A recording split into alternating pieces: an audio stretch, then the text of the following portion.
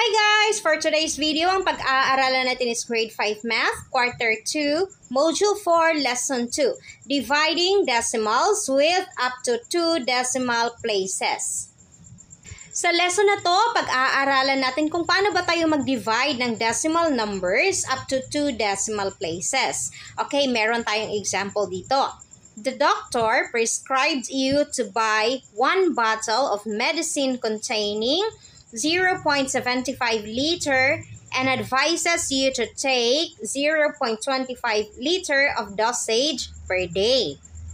How many days before a bottle of medicine runs out? Okay, so, ang doktor, nagbigay siya ng reseta sa iyo na bumili ka ng gamot na 0.75 or 0.75 liter.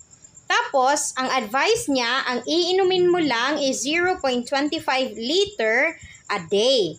So, ilang araw kaya maubos itong 0.75 liter mo na gamot?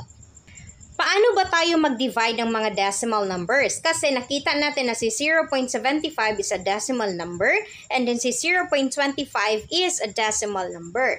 Meron tayong mga steps. Okay, so step 1, First, make both divisor and dividend a whole number by multiplying 100 or by moving the decimal point two decimal places to the right. Okay, so para maintindihan natin, ang gagawin daw natin is ang ating divisor at dividend. Okay, so saan ba yung dividend natin? Ito ang ating dividend, si 0.75 divided by 0.25. Okay, so ang nasa loob dito is tinatawag natin itong dividend.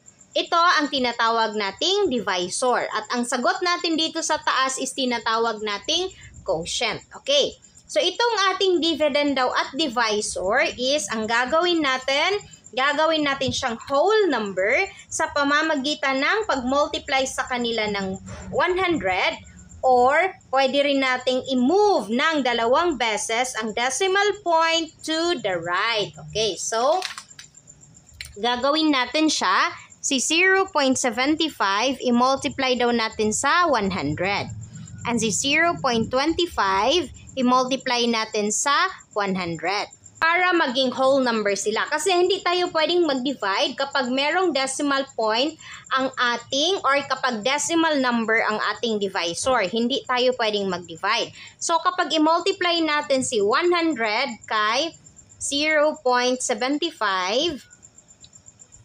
5 times 0 equals 0, 5 times 0 equals 0, 5 times 1 equals 5. 7 times 0 equals 0, 7 times 0 equals 0, 7 times 1 equals 7. Okay, so wag na natin isali si 0 kasi decimal point dito and then 0 lang din lahat yung sagot. I-add na natin. So 0, 0, 5, 7. I-count natin kung ilang decimal point meron tayo. 1, 2. So maglagay din tayo sa ating product. 1, 2. 75. So, ibig sabihin, 0.75 times 100 is equal to 75. So, si 0.25, kapag i-multiply natin kay 100, magiging 25. Or, kung ayaw nyong mag-multiply, ano yung gagawin natin? I-move natin ng dalawang beses ang decimal point going to the right. Okay, so si 0.75, i-move natin ng dalawang beses. So, 1, 2. So, si 0.75, nandito na yung decimal point, magiging 75 na siya. Si 0.25, i-move natin ang decimal places going to the right dalawang beses. Okay, so 1, 2. Okay, nandito na yung decimal point natin. So, ibig sabihin si 0.25 is magiging 25. Ngayon, ang given natin ang ating dividend at divisor is whole number na. So, pwede na natin silang i-divide. Ang step 2 natin, then divide as in dividing with a whole numbers. Okay, so pwede na natin silang i-divide. So, 75 divided by 25. 75 divided by 25 is equal to 3. 3 times 5 is equal to 15. Bring down 5, carry 1. 3 times 2 equals 6 plus 1 equals 7. Okay, subtract. 75 minus 75 is equal to 0. So, ibig sabihin, ang sagot natin is 3. Ibig sabihin pala, ang kanyang 0.75 liter na gamot, mauubos niya ng tatlong araw kapag ang kanyang i-take is 0.25 na uh, 0.25 liter kada araw. So, aabot siya ng tatlong araw. Okay, siguro naintindihan na natin yung process kung paano mag-divide ng mga decimal numbers. Ngayon, meron tayong example dito. So, 4.20 divided by 0.35. Okay, so ano yung gagawin natin? Ang mas madali, mag-move tayo ng dalawang decimal place value going to the right. So, ibig sabihin, itong ating dividend na si 4.20, Kapag i-move natin ng dalawang beses ang ating decimal point to the right, so 1, 2, so magiging 420 siya. Divided by 0.35, i-move natin ng dalawang beses ang kanyang decimal point. 1, 2, so magiging 35. Okay, so meron na tayong whole number. Pwede na natin siyang i-divide. So, i-divide natin si 420 kay 35. Okay, so mag-divide na tayo. So 42 divided by 35 is equal to 1. 1 times 5 is equal to 5. 1 times 3 is equal to 3. Okay, subtract.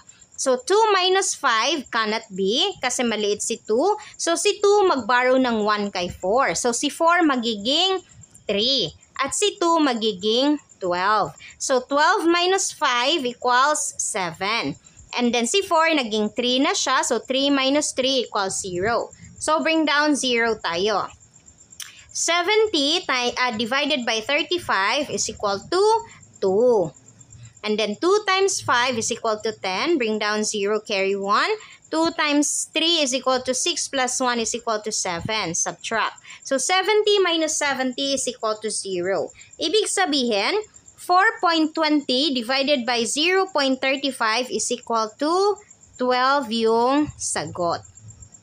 Another example, 1.98 divided by 0.09. Okay, so i-move natin ng dalawang beses.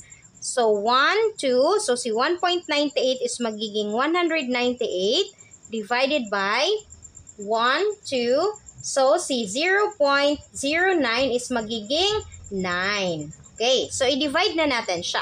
So, 198 divided by 9. 19 divided by 9 is equal to 2.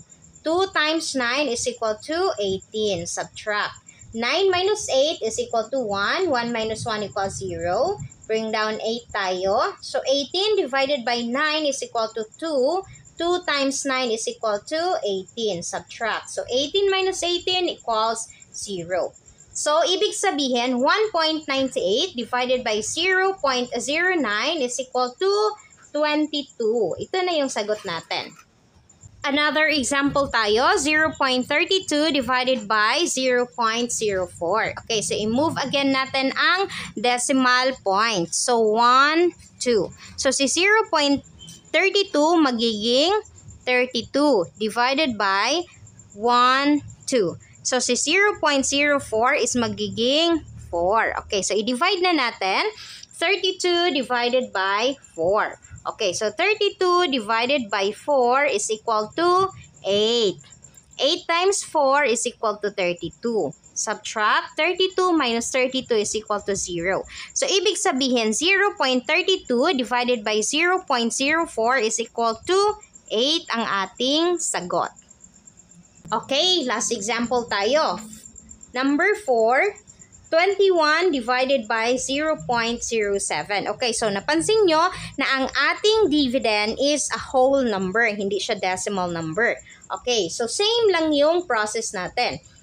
Gagawin lang nating whole number yung decimal number natin. So si 0.07, i-move natin ng dalawang place of value to the right. So, 1, 2.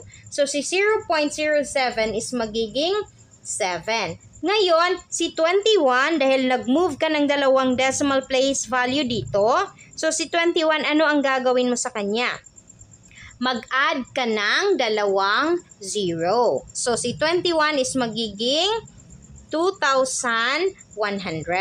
So, si 21 naging 2,100 at si 0.07 nagiging 7. So, 2,100 divided by 7.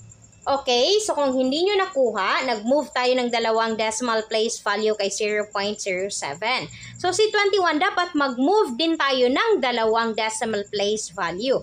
And since si 21 is a whole number, kapag whole number siya, ibig sabihin ang kanyang decimal point is nandito kasi whole number siya. So kapag nag- nag-move ka ng dalawang decimal place value dito, mag-move ka rin dapat sa iyong dividend. So kapag nag-move ka, 1, 2. So, ibig sabihin, dahil nandito na yung decimal point mo, dagdagan mo siya dito ng dalawang zero. Kaya, naging 2,100 siya. Or, pwede ring dagdagan mo na siya agad. Kung ilang decimal place ang, ni, ang na-move mo sa iyong divisor, ganun din kadami na zero ang ilagay mo sa iyong dividend. So, ngayon, i-divide na natin si 2,100 divided by 7. Okay, so 21 divided by 7 is equal to 3. 3 times 7 is equal to 21. Subtract. 21 minus 21 equals 0. So bring down 0 tayo. 0 divided by 7 is equal to 0. 0 times 7 is equal to 0. Subtract. 0 minus 0, of course, 0. So bring down again natin yung isang 0. 0 divided by 7 again is 0. 0 times 7 is equal to 0. Subtract. Kita pa ba sa baba? Okay. So, 0 minus 0 is equal to 0. Ibig sabihin, 21 divided by 0.07, ang ating sagot is 300. Ayan. Okay, so ganyan lang kadali mag-divide ng decimal numbers with up to 2 decimal places. Basta tatandaan natin na ang ating dividend at divisor is gawin muna natin siyang whole number. Paano yun siya gagawin? I-multiply natin siya by 100 or i-move natin ng dalawang beses ang kanyang decimal point going to the right. At pwede na tayong mag-divide. That's all for today's video guys. See you on our next lesson. Bye!